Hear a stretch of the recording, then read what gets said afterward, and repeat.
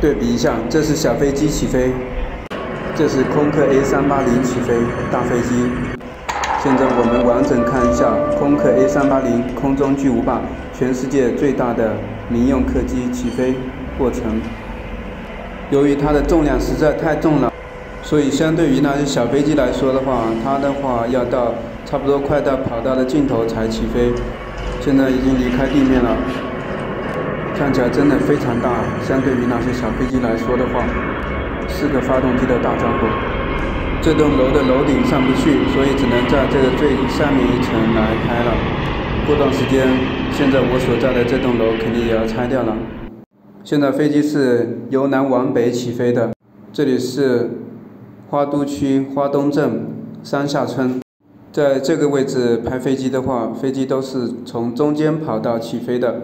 A 三八零也是从中间跑道起飞的，但是 A 三八零降落的话，它是在最东边那条跑道降落的。